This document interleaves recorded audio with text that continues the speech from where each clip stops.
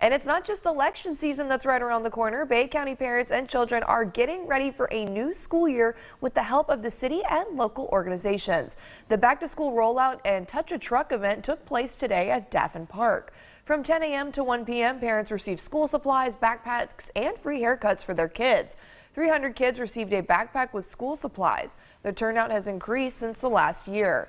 The Boys and Girls Club donated many of the supplies for the giveaway. The kids also had the chance to interact with local officials by sitting inside of their fire trucks and police vehicles. Something that's really important for our community is our children having access to school supplies. So uh, today is definitely one of those days that we could maybe give people a little um, comfort and ease with uh, something that they're going to need to be tackling in the next couple of weeks.